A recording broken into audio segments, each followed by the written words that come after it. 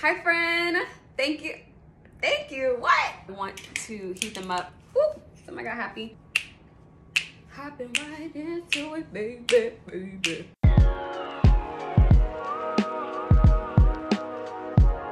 Friend. So thank you so much for coming back to my channel. I'm so happy that you're here. Uh, today i'm going to be unboxing. Today i'm going to be unboxing and reviewing this tea set i'm excited about this one because it is a tea kettle infuser right?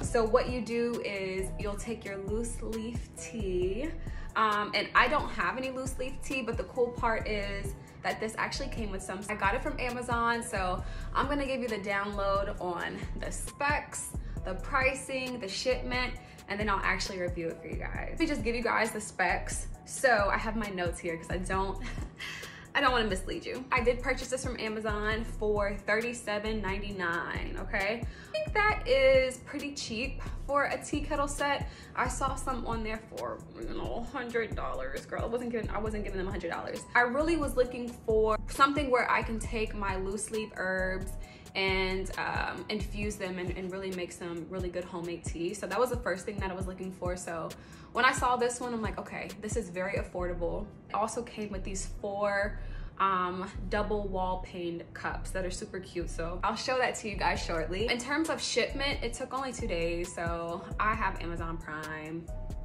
I love Amazon Prime. Um, some other features, uh, we're gonna open it up in a minute, but this is supposed to be microwavable. I don't plan on microwaving any of my teas. I don't think there's anything wrong if you wanna use the microwave. Um, it's also supposed to be dishwasher safe, which is great. Yeah, I think that's it. I think that's all of the specs. And so now you guys get to unbox with me. I have wanted to unbox this for like two days now, but I have waited um, because I wanted to make sure that I caught this on camera with you guys. So let's unbox it together.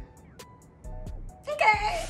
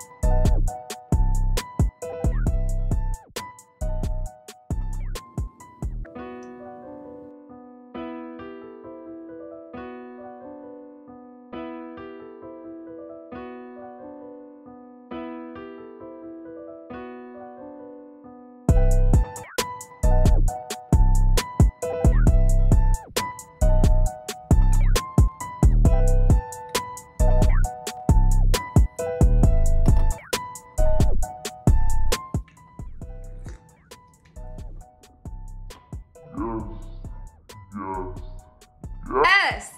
Okay, so I absolutely love this set.